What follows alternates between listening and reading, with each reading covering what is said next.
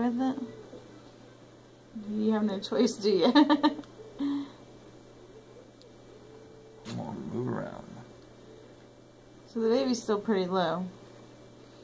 It's the baby is right where the baby should be, Okay.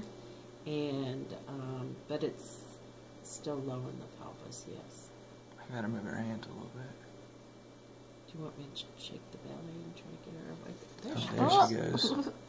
It's been a hiccup. Oh. No, I put that on the video. I said what the baby was. Just remember that if you're not Yeah. telling anybody. we are. I'm excited. Girl stuff's so cute. That's why I'm excited. All the purple and